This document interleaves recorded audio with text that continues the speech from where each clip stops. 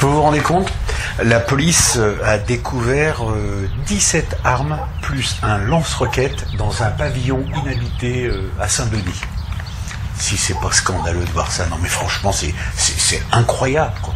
Non mais c'est incroyable de voir ça encore au 21e siècle, en 2018. Des pavillons inhabités. Alors que des gens cherchent des appartes. euh, C'est... Non, et c'est nous qu'on paye. Tout part en cacahuète dans ce pays, tout.